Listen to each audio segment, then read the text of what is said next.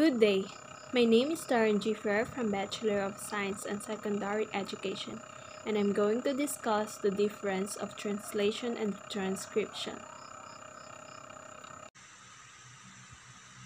First, let me discuss the transcription.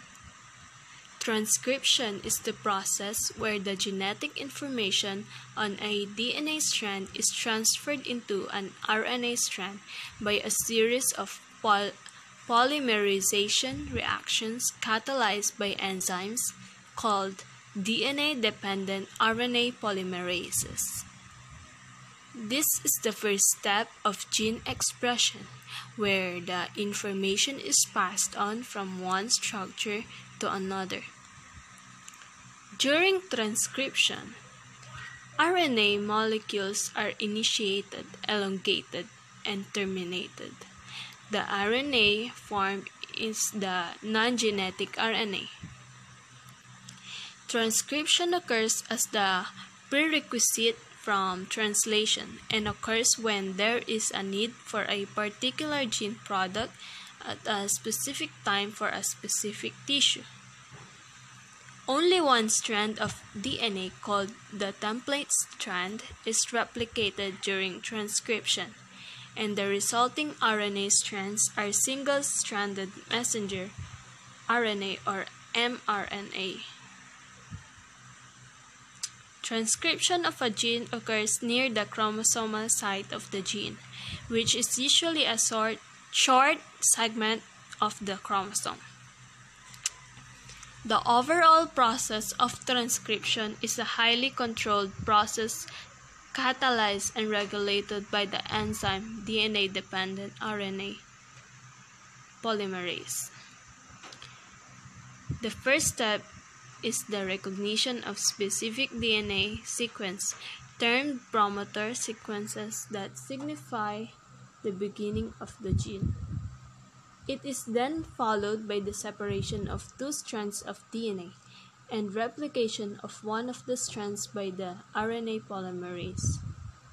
The RNA polymerase in eukaryotes is different and complex than the than that in prokaryotes. The sequence formed after replication is complementary to the template sequence as the process follows the complementary base pairing rules of DNA, except that thymine is replaced by uracil. In prokaryotes, the overall process is regulated by proteins that function as signals or operators and terminate the process by physically blocking the RNA polymerase once the process is complete. In eukaryotes, various proteins termed as transcription factors are involved in the regulation of transcription. Besides, the post-transcriptional modification also takes place in eukaryotes, where the pre-mRNA the result of transcription is edited by the process of slicing before the mature mRNA reaches ribosomes for translation. The mRNA thus produced acts as a blueprint for protein synthesis during the process of translation. Depending on the sequence of DNA chosen for transcription, rRNA and tRNA synthesis also occur. Transcription occurs in the nucleus of eukaryotes and cytoplasm of prokaryotes, where the enzyme and the transcriptional factors are available. It is inhibited by some antibiotics like rifampicin and 8-hydroxyquinoline or 8-hydroxyquinoline. The process can be detected by methods like RT to PCR, DNA microarray, in situ hybridization, and northern blotting. So let's move on to the translation. The translation is the process of protein synthesis where the information on RNA is expressed in the form of polypeptide chains. It is the second and last step of gene expression where the information encoded on the mRNA sequence results in an amino acid sequence. The starting point of translation is the mRNA formed from the process of transcription of a particular DNA sequence. Thus, translation follows transcription. Even though the information on the mRNA is utilized to produce the amino acid sequence, other forms of RNA like tRNA is also required for the process. Like the transcription, translation is also controlled by various factors and, enzy and enzymes where the most important enzyme is the amino acyl tRNA synthetase.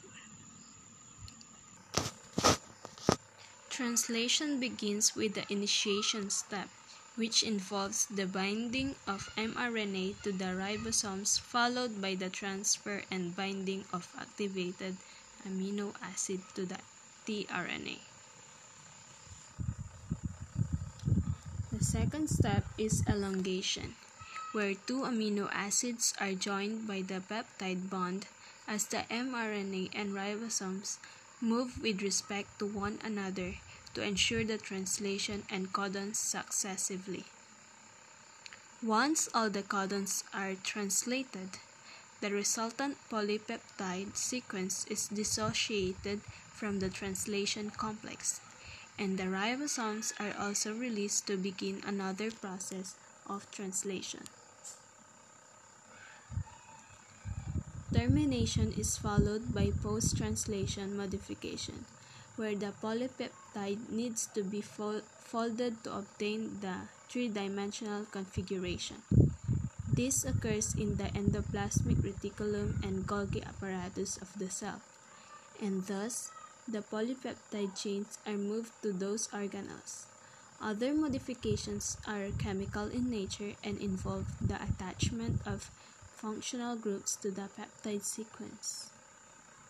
The process of translation is regulated by the binding of ribosomal subunits to the translation complex. The ribosomes function as enzymes for the regulation of various steps. In eukaryotes, translation occurs in the ribosomes associated with the endoplasmic reticulum, whereas in the prokaryotes, it occurs in the cytoplasm. The translation is inhibited by antibiotics like tetracycline, chloramphenicol, streptomycin, erythromycin, anisomycin, cycloheximide, etc. Similarly, the process of translation can be detected by methods like Western blotting, immunoblotting, enzyme assay, protein sequencing, etc. And that's all for today's video. Hope you learned something. Thank you.